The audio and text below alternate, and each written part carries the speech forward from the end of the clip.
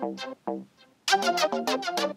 guys, what's up? Back with another Minecraft video. And today I want to show you how to get servers for free. Um, it's not like you need any mods or hacks or anything. You know, you don't need any jailbreak. This can work on iOS. I don't know if it, if it's Android because I've never been on an Android device. So today we're gonna crack straight on and show you how to get servers for free.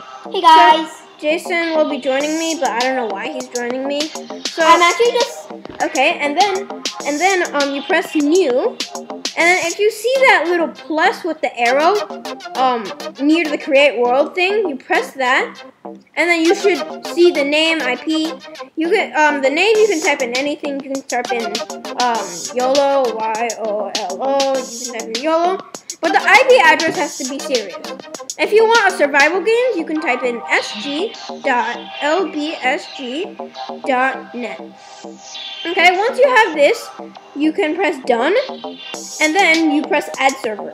Once you add a server, press back, and then YOLO will soon be up. But it takes a little bit time for the server to open up because um it needs to be noticed. So if I try to go on it right now, it will, um, go up. So you're in a server right now with multiplayer people. So thank you guys for watching. Be sure to like, comment, and subscribe. See you guys in the next episode. Goodbye.